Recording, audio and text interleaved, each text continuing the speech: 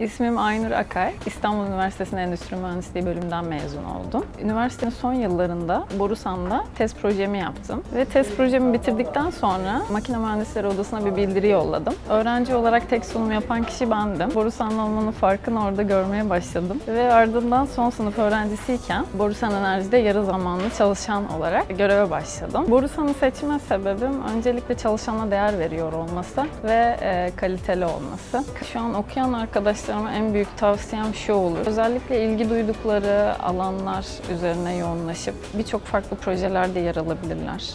Benim için staj yapmak çok faydalıydı çünkü birçok farklı departmanın ne tarz görevler gerçekleştirdiğini gördüm. Bu tarz fırsatları yakalamaya çalışmalılar. Sürekli kendilerine güvenmeliler. Bu çok önemli ve soru sormaktan çekinmemeliler. Yarınları Koşanlar adlı bir projemiz var. Bu bir kültür değişim projesi. Bu proje kapsamında çalışanlar şirkette değiştirmek istedikleri konular üzerine fikirlerini beyan ediyorlar. Ve üst yönetimle birlikte el ele değiştirmek istediğimiz konuları üzerine gidip aksiyonlar belirleyip bunları hayata geçiriyoruz. Aidiyet çok güzel bir his. Buraya ailem gibi hissediyorum. Çok farklı bir çalışma kültürümüz var. Çok renkli ve keyifli bir çalışma ortamımız var. Olmayacak dediğiniz şeyler burada gerçekleşebilir. Yeter ki altını doldurun, okuyun, araştırın, yeni önerilerle gelin. Uygun bulunduğu takdirde birçok şey yapma imkanınız var burada.